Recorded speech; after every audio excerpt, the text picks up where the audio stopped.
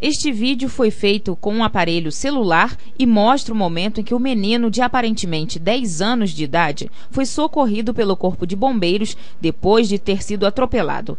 A Avenida Barão do Rio Branco é uma pista com diferentes limites de velocidade e que corta algumas ruas residenciais e comerciais. Para acessar um lado ou outro, em alguns pontos os pedestres contam com a sorte na hora de fazer a travessia. Sem sinalização e com faixas de pedestres espaçadas, a avenida se torna uma área de risco para quem frequenta o bairro Retiro. Não tem sinalização nenhuma. Por quê? Muitas crianças passam aqui a partir de meio-dia, 10 horas e 5 horas da tarde. Isso acontece frequentemente. Não é a primeira vez. Já teve até caso de morte aqui na Barão do Rio Branco. Não há semáforo nem faixa de pedestre, os radares não estão em funcionamento e não há passarela ou qualquer outro tipo de sinalização na pista que indique área escolar. Não encontramos também um agente de trânsito no local.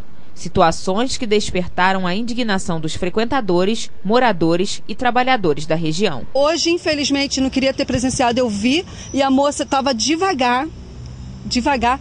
Ela, o menino saiu numa disparada correndo ali e ela freou em cima. E este não foi o primeiro acidente no mesmo ponto, próximo à delegacia do Retiro. Isso aí volta e meia está acontecendo, entendeu? Já aconteceu diversos aqui, com atropelamento e morte.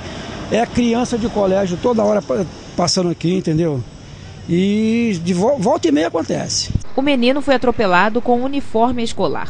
Segundo testemunhas, no momento do acidente, a motorista não trafegava em alta velocidade. A falta de, de, de, de sinalização aqui faz com que ocorra muito acidente com as crianças do colégio. Isso é uma pouca vergonha mesmo.